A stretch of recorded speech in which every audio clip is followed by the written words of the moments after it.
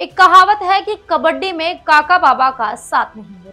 और ये कहावत राजस्थान की राजनीति में एकदम फिट बैठती नज़र आ रही है। दरअसल राजस्थान में विधानसभा चुनाव होने हैं और चुनाव की तैयारियाँ चरम पर है। सभी पार्टियाँ चुनाव जीतने के लिए अपना पूरा ज़ोर लगा रही है। सभी पार्टियों ने अपने अपने उम्मीदवारों को उतारना शुरू कर दिया है। भाजपा और कांग्रेस ने भी अपने उम्मीदवारों की घोषणा कर दी। इसके अलावा अन्य पार्टियों ने भी अपने उम्मीदवारों की घोषणा कर दी। बात अगर करें बीजेपी की तो पार्टी अब तक उम्मीदवारों की दो सूचियाँ जारी कर चुकी है। लेकिन चुनाव से पहले ही पार्टी में आपसी अनबन का दौर जारी है। दरअसल लिस्ट जारी होने के बाद उम्मीदवारों के चयन को लेकर बीजेपी कार्यकर्ता बिफर गए और पार्टी का जमकर विरोध कर रहे हैं। कई जगहों पर तो यह विरोध प्रदर्शन हिंसक भी हो गया है। कार्यकर्ताओं का ज़्यादा विरोध जयपुर राजसंबंध चित्तौड़गढ़, अलवर, बूंदी, बीकानेर और उदयपुर में देखा जा रहा है। बता दें राजसंबंध में तो बीजेपी दफ्तर तक में तोड़फोड़ हो गई। दरअसल राजसंबंध से दीप्ति माहेश्वरी को दोबारा बीजेपी प्रत्याशी बनाए जाने के विरोध में कार्यकर्ता सड़कों पर उतर आए हैं। बाहरी प्रत्याशी को टिकट देने से नाराज़ कार्यकर्ताओं ने विरोध प्रदर्शन किया। उन्होंने स्थानीय उम्मीदवार को टिकट देने की मांग की है। कार्यकर्ताओं ने कांकरोली रोड में स्थित बीजेपी कार्यालय में घुसकर तोड़फोड़ की और चुनावी सामग्री भी फाड़ दी। नाराज़ कार्यकर्ताओं ने बीजेपी दफ्तर के बाहर डेरा भी डाल दिया है। वहीं बात करें चित्तौड़गढ़ की तो ये सबसे ज़्यादा हिंसक विरोध प्रदर्शन चित्तौड़गढ़ में देखा गया। यहाँ से बीजेपी के प्रदेश अध्यक्ष सीपी जोशी सांसद है।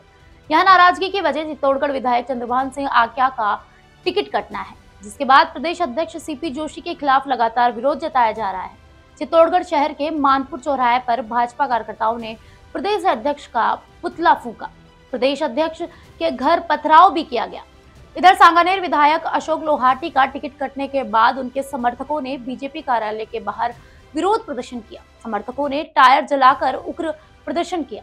उनके समर्थकों का कहना है कि क्षेत्र में बाहरी लोगों को किसी भी सूरत में बर्दाश्त नहीं किया जाएगा। बता दें, भजनलाल शर्मा को सांगानेर विधानसभा सीट से टिकट दिया गया है।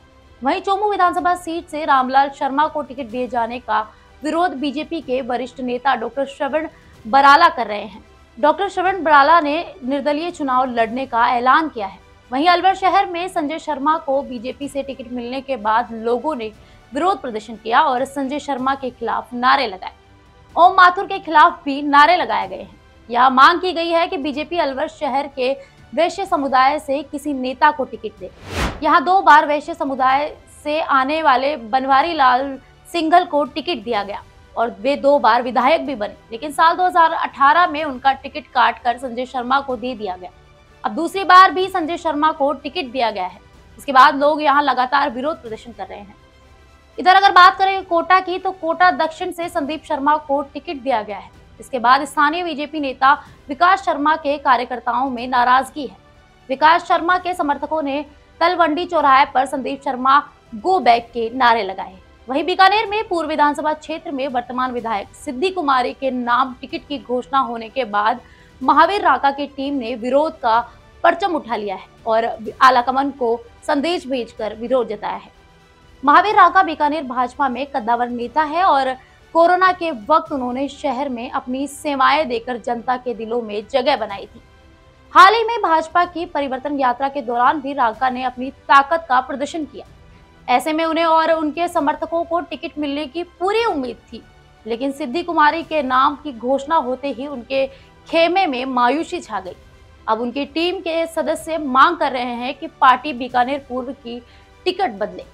गौरतलब है कि आगामी राजस्थान विधानसभा चुनाव के लिए भाजपा के इकतालीस उम्मीदवारों की पहली सूची से भी पार्टी के कई सदस्यों में असंतोष फैल गया था, जो केंद्रीय नेतृत्व की निर्णय लेने की प्रक्रिया से खुद को अलग थलग महसूस कर रहे थे। पहली सूची जारी होने के बाद भी कई नेताओं ने पार्टी के खिलाफ विरोध प्रदर्शन किया। चुनाव नज़दीक है, लेकिन बीजेपी में आपसी अनबन का दौर जारी है। पार्टी में तनाव का माहौल है। यहाँ पार्टी के नेता ही पार्टी के खिलाफ प्रदर्शन कर रहे हैं। इस तनाव का क्या असर पड़ता है चुनावों पर, ये तो आने वाला समय ही बता पाएगा। फ़िलहाल के लिए इतना ही। नमस्कार।